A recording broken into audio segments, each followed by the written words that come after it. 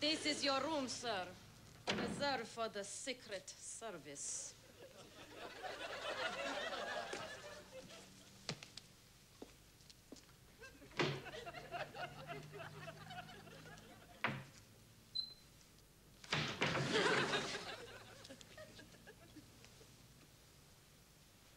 You can't be too careful. There could have been an enemy agent hiding behind there. Hmm.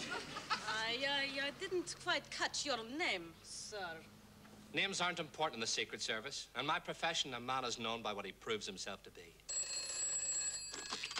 Hello, Wally here. note? What note? Sir, Yeah, I'll make sure it doesn't get into the wrong hands. This is going to take all my skill and experience. It's in code. you've got it upside down. Obviously trained in this sort of thing. On no account, let, let. The handwriting's that bad. See if you can make it out. On no account, let the hotel porter see this note. Sir, That was my first mistake. You know the rules, Wally. You're only allowed two mistakes. After that, you might as well pack up and go home.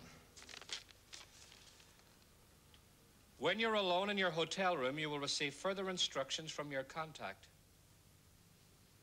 who is hiding behind the wardrobe.